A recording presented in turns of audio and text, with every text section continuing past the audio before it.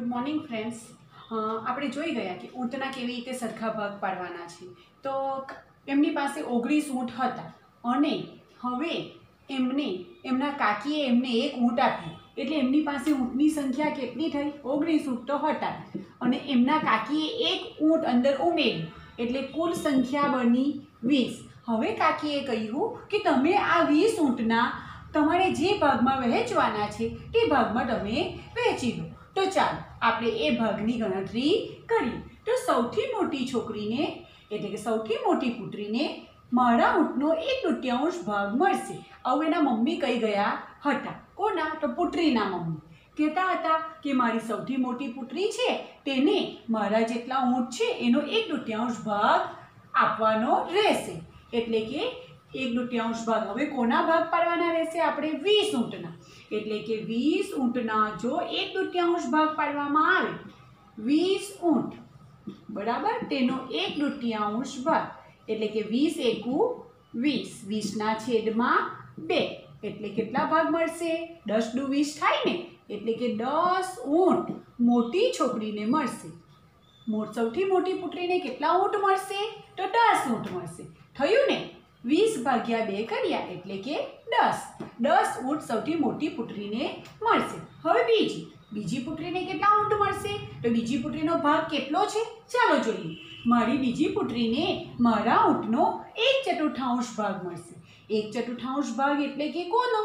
તો આ વીસ ઊંટનો એક ચતુર્થાંશ ભાગ. તો ચાલો. વીસ નો એક ચતુર્થાંશ ભાગ જ્યારે પણ કરવાનો હોય, ત્યારે તેની સાથે આ રીતે ગુણાકાર કરવાનો. એટલે કે વીસનો ચોથો ભાગ. શું બોલાશે? વીસ એકુ વીસ અને ચાર. એટલે કે વીસનો ચોથો ભાગ. વીસનો ચોથો ભાગ. હવે વીસનો ચોથો ભાગ એટલે ચાર વડે ભાગવાનો. તો વીસને ચાર વડે ભાગવાના. આ રીતે વીસ ભાગ્યા ચાર. ચારનો ઘડિયો બોલવાનો. વીસ આવે ત્યાં ચાર. દુ આઠ, ચાર તારી બાર, ચાર ચોક સોળ, ચાર પંચા વીસ. એટલે ચાર પંચા વીસ. જોયું? હવે શું થશે? શૂન્યમાંથી શૂન્ય ગયું. બેમાંથી બે ગયા એટલે શૂન્ય, જવાબ શું આવ્યો? પાંચ. એટલે કે પાંચ ઊંટ. બરાબર ને? આ પાંચ ઊંટ કોને મળશે?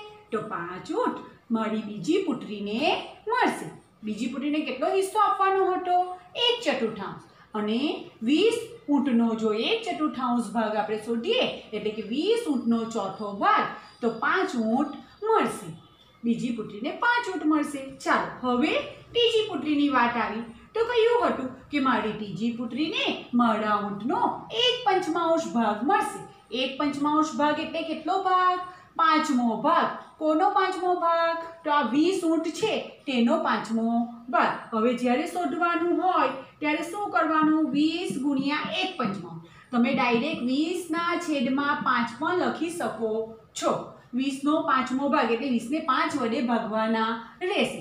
કોઈ પણ પણ સંખ્યાનો ચોથો ભાગ પાંચમો ભાગ એવું કહીએ ત્યારે તેને એટલા વડે ભાગવાના રહેશે. વીસ એકુ વીસ બરાબર? અને છેદમાં પાંચ. હવે વીસ ભાગ્યા પાંચ કરીએ તો પાંચનો ઘડિયો બોલો. જ્યાં સુધી વીસ આવે ત્યાં સુધી. પાંચ ચોક વીસ. કેટલા આવ્યા? ચાર. એટલે કે ચાર. કોને મળશે ચાર ઊંટ? તો સૌ મારી બીજી પુત્રીને પાંચ કેટલા ઊંટ મળશે? એક પંચમાંશ ભાગ પાંચમો ભાગ. એટલે કે ચાર ઊંટ મળશે. ચાલો, હવે પહેલી પુત્રીને કેટલા મળ્યા તે આપણે જોઈએ. સૌથી મોટી પુત્રીને, એટલે કે મોટી પુત્રીને કેટલા મળ્યા? દસ. બરાબર છે ને? બીજા નંબરની છોક પુત્રીને કેટલા મળ્યા? પાંચ.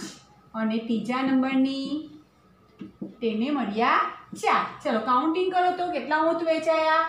દસ ને પાંચ, પંદર. પંદર ને ચાર ઓગણીસ. ઓગણીસ ઊંટ વેચાઈ ગયું. તો વિચારો કે આપણે તો વીસની ફાળવણી કરતા હતા. તો વીસ તો ફળવાયા જ નહીં.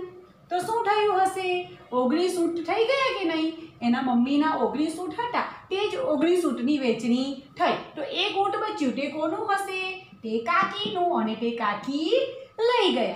અને ઓગણીસ ઊંટ આ ત્રણ બહેનો વચ્ચે વેચી આપ્યા. મોટી પુત્રીને દસ ઊંટ મળ્યા, બીજી પુત્રીને પાંચ ઊંટ મળ્યા અને ત્રીજી પુત્રીને ચાર ઊંટ મળ્યા. એટલે કુલ ઓગણીસ ઊંટની વહેંચણી આ રીતે થઈ ગઈ. તમને સમજ પડી? હા, થોડો ભાગ આમાં વધુ ગયો છે અને આમાં ઓછો આવ્યો છે એવું બન્યું છે. પરંતુ એનો બીજો કોઈ ઉપાય હતો નહીં, એટલે આપણે આ રીતે જ એની ગણતરી કરવી પડી. ચાલો, સમજીએ અને આપણે અણુનું સમયપત્રક જોઈએ. પાના નંબર સડસઠ ઉપર અણુનું સમયપત્રક આપ્યું છે. તે કંઈક આવું દર્શાવે છે. ઊંઘવા માટે અણુ દિવસનો ત્રીજો ભાગનો સમય કાઢે છે અને રમવા માટે અણુ દિવસનો આઠમો ભાગનો સમય કાઢે છે અને ભણવા માટે દિવસનો એક ચતુર્થાંશ ભાગનો સમય કાઢે છે. એક ચતુર્થાંશ ભાગ એટલે કે ચોથા ભાગનો સમય કાઢે છે. એટલે કોનો ચોથો ભાગ? તો દિવસનો ચોથો ભાગનો સમય કાઢે છે. ચાલો તો આપણે નીચેની કેટલીક બાબતોને શોધીએ.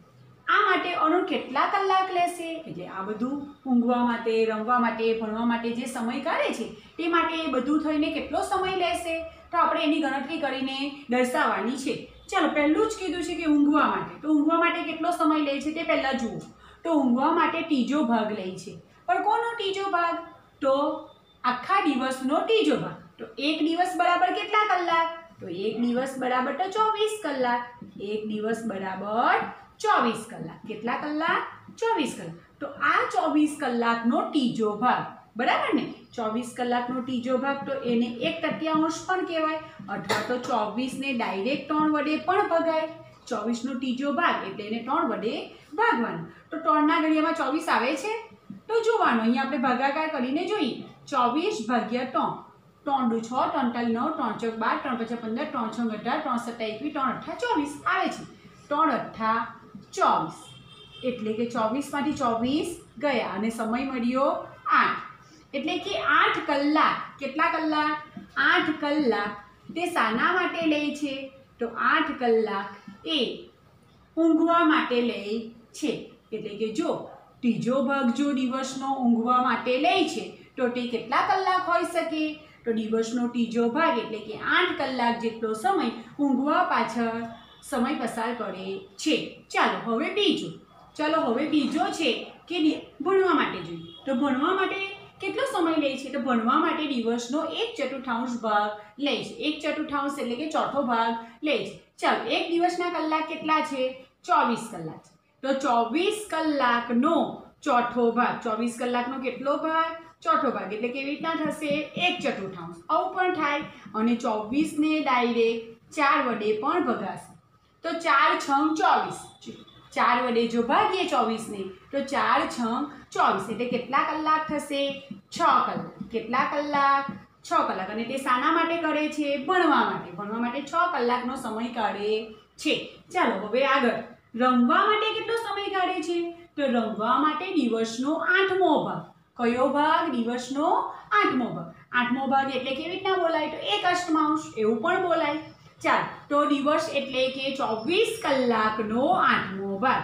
દિવસનો આઠમો ભાગ એટલે કેટલા કલાકનો? તો ચોવીસ કલાકનો આઠમો ભાગ. તો ચોવીસ કલાકનો આઠમો ભાગ એટલે કે એક અષ્ટમાંશ. અથવા તો ડાયરેક્ટ તમે ચોવીસ ભાગ્યા આઠ પણ લખી શકો છો. હવે આઠનો ઘડિયો બોલવાનો. ચોવીસ આવે ત્યાં સુધી. આઠ તાલી ચોવીસ એટલે કે ત્રણ કલાક. ત્રણ કલાક શાના માટે કાઢે છે? જુઓ તો, ત્રણ કલાક રમવા માટે કાઢે છે. આઠ કલાક ઊંઘવા માટે, છ કલાક ભણવા માટે અને ત્રણ કલાક રમવા માટે. કેટલો સમય ગયો? ચાલો જોઈએ. આ બધી પ્રવૃત્તિ કરતા આઠ કલાક વત્તા છ કલાક વત્તા ત્રણ કલાક. આટલો સમય જાય છે. શાના માટે, ઊંઘવા માટે, ભણવા માટે અને રમવા માટે. ચલો આઠની અંદર છ ઉમેરીએ. તો શું થશે? ચૌદ જવાબ આવશે. ચૌદ, પંદર સોળ સત્તર. એટલે કુલ કલાક બનશે આપણા સત્તર. કેટલા કલાક બનશે? અહીં બતાવું છું. આઠ વત્તા છ વત્તા ત્રણ. એટલે કે કુલ સત્તર કલાક આ ઊંઘવા માટે, ભણવા માટે અને રમવા માટેનો સમય પસાર થઈ જાય છે. તો બાકીનો સમય કેટલો રહ્યો? હવે બાકી સમય શોધવો હોય તો શું કરવું પડે? તો એક દિવસમાં બાકી સમય કેટલો રહ્યો? તો એક દિવસના કલાક છે ચોવીસ. તેમાંથી સત્તર કલાક તો ઓલરેડી બધું કાર્યમાં ફળવાઈ ગયા છે. તો હવે બાકી કેટલા રહ્યા? તો શું કરવું પડે? તો જે બાકી સમય રહ્યો છે તેમાં શું કરે છે? તો બીજી પ્રવૃત્તિ માટે તે દિવસનો કેટલામો કલાકનો ઉપયોગ કરશે? તો હવે બાકી જેટલો પણ સમય રહ્યો છે, તે માટે બીજી કોઈ પ્રવૃત્તિ કરી શકશે. તો બાકી સમય શોધવા માટે આપણે શું કરવું પડે? બાકીનો સમય.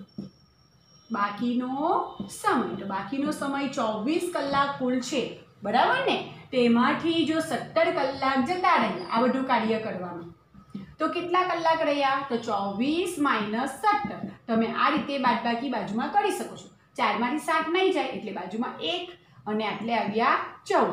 ચૌદમાંથી સાત ગયા એટલે સાત. એકમાંથી એક ગયો એટલે શૂન્ય. કેટલા કલાક બાકી રહ્યા? સાત કલાક.